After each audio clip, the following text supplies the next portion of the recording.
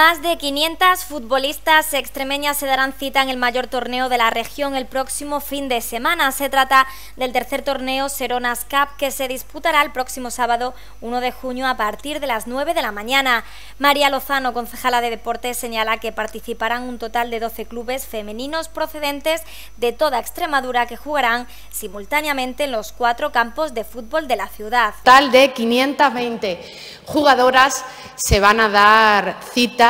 en este torneo que se celebrará, como decía, el próximo sábado. Un torneo que podemos calificar como el mayor de toda la comunidad autónoma, pero no es solo por su tamaño, por lo que alberga, sino por lo que significa.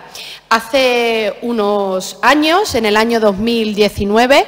eh, un grupo de amantes del fútbol en todas sus categorías crearon eh, la decisión del Club de Fútbol eh, Femenino. Por aquellos entonces estaba a cargo de Javier Nieto, el actual presidente del Club de Fútbol eh, Villanovense. Ahora actualmente está en buenas manos, está en manos de, de Ángel y desde el año 2019 hasta el año 2024 lo único que ha hecho es crecer y crecer. Por su parte, Juan Manuel Torrado, coordinador de la selección femenina, señala que el club ha ido creciendo, pasando de cuatro equipos en sus comienzos hasta tener más de 30, un deporte en auge del que Villanueva de la Serena es pionero. Este año ya tenemos más de 30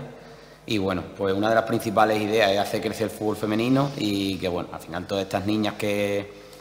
que estas temporadas siguen jugando en equipos masculinos, pues que esta es una iniciativa que vengan con nosotros, a que, pasen un gran día de fútbol femenino y bueno, pues que de cara a futuro,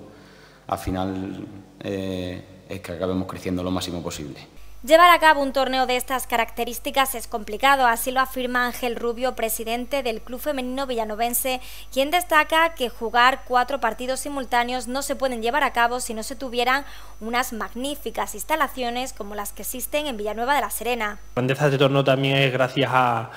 toda esta ayuda que, tenemos, porque Em, mm, hacer que cuatro